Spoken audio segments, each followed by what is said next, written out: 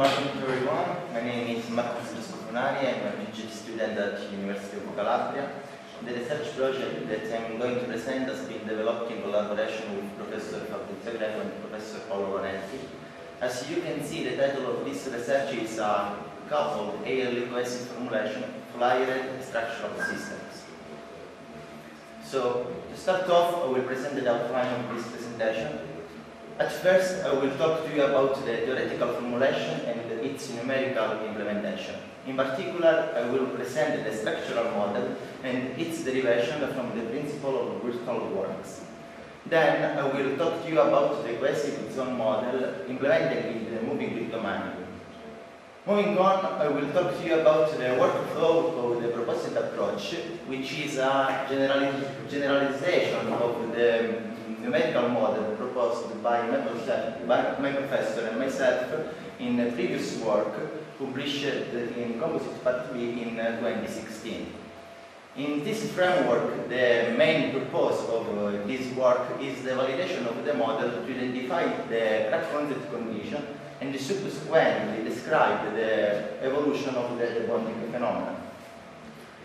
Uh, for these reasons, uh, uh, in this presentation, I will present the result developed in static and dynamic framework.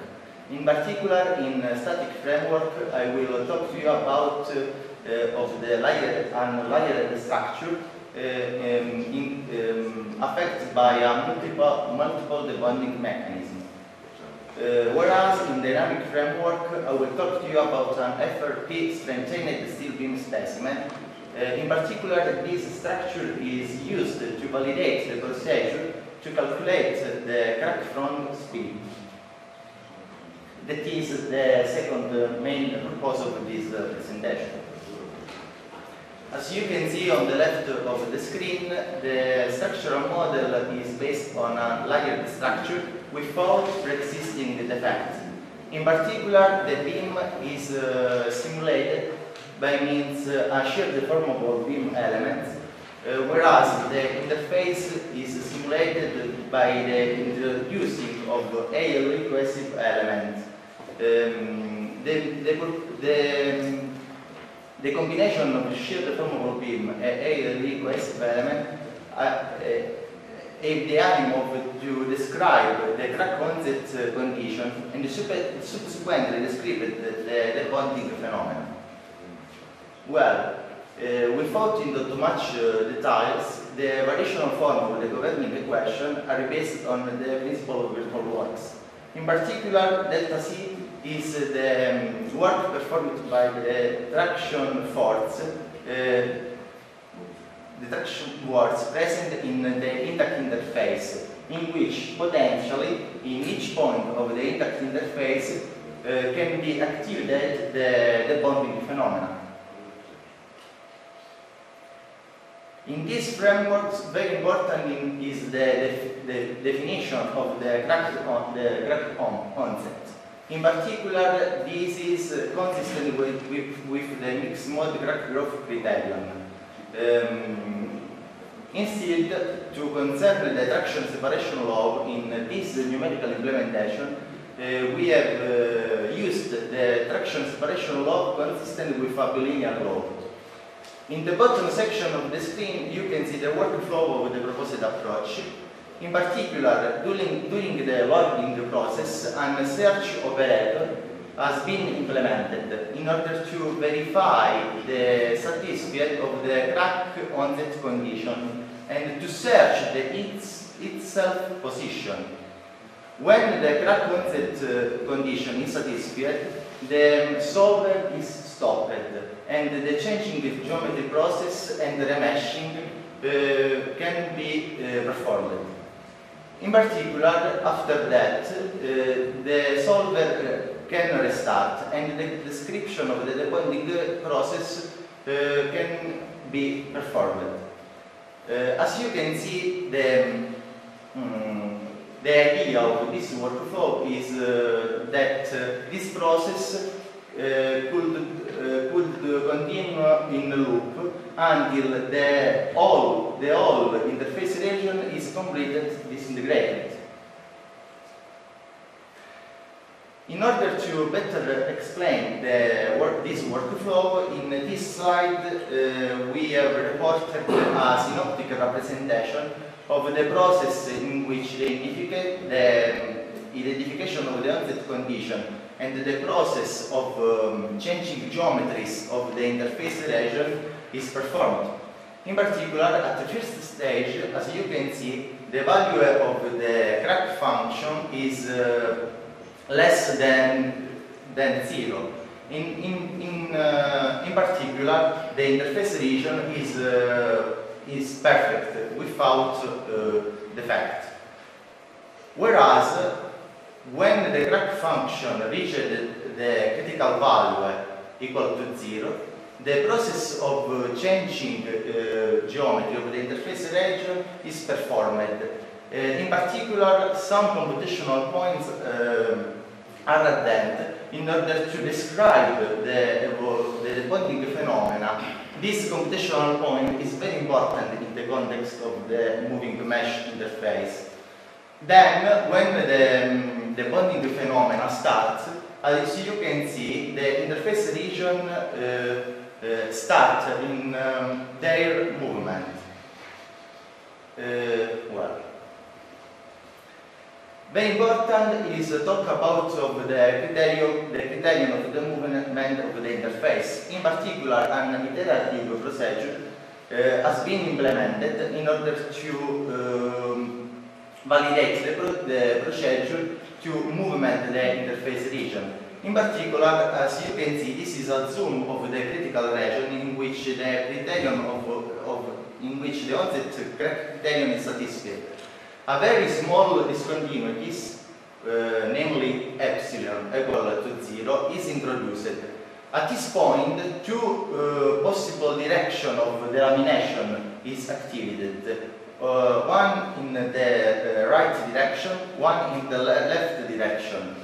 As you can see, the procedure to evaluate the uh, current increment of the crack position, delta xt, is very simple. At the extremity, at, at the extremities of the debonding length, the fracture function is evaluated.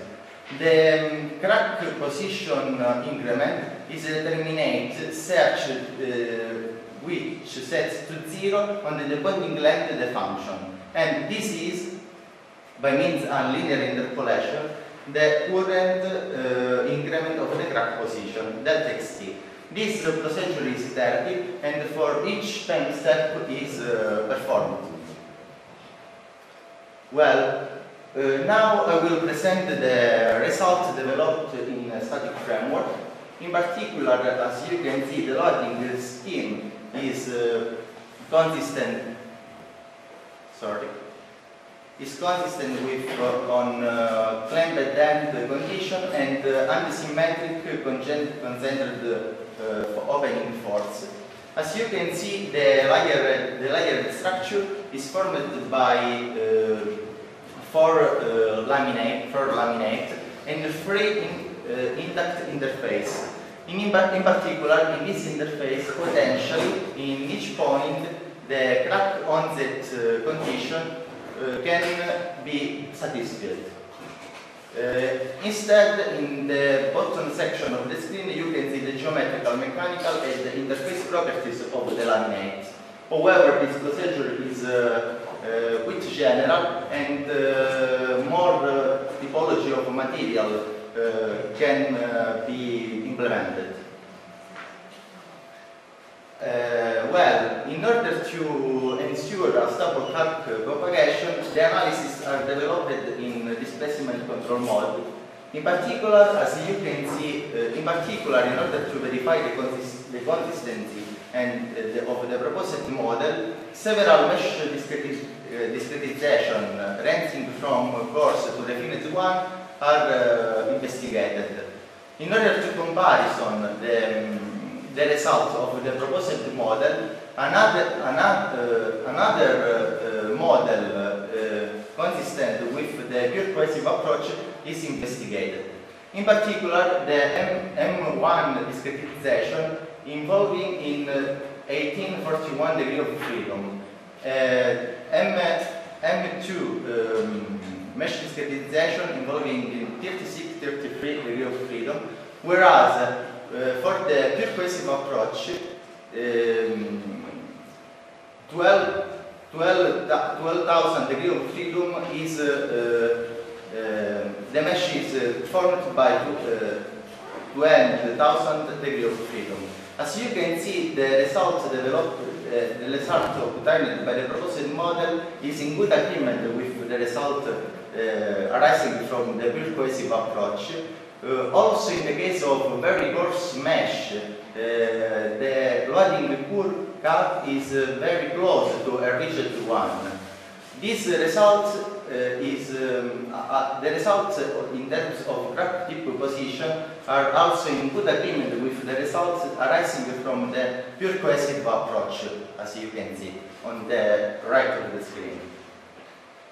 Well, now I will present the results developed in uh, the dynamic framework, in particular an FRP strengthened steel specimen Uh, has been investigated, in which the rate-dependent effects are considered uh, for both onset condition and uh, the, bond, uh, the bonding uh, phenomena. in particular, the layout configuration is obtained from an publication obtained from the literature by uh, Mulian and Rabinovich.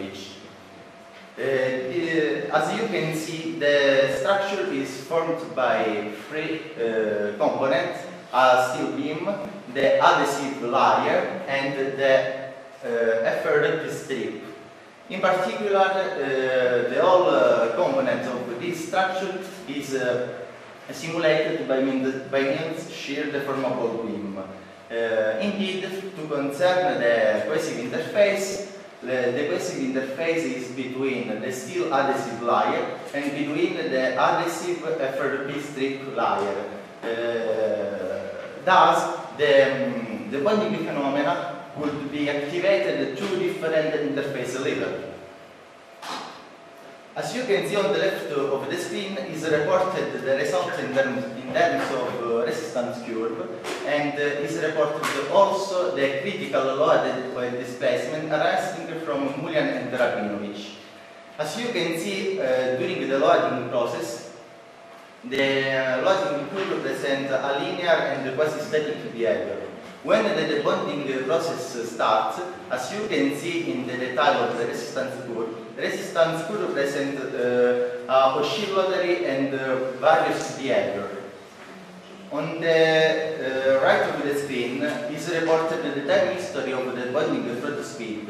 In particular, as you can see, the, the speed of the crack, the tip reached rapidly uh, 500 meters per second.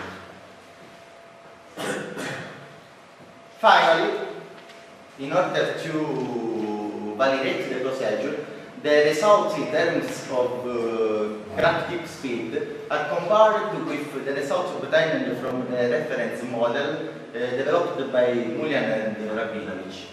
In particular, as you can see, the trend of the um, crack tip speed is in agreement with the results obtained uh, uh, by the reference model.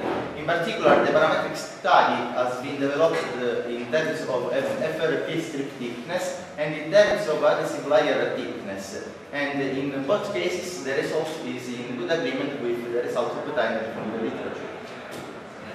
Well, to conclude, we can say that compared with existing formulation available from literature, this model presents a lower computational effort and complexities in the governing equation.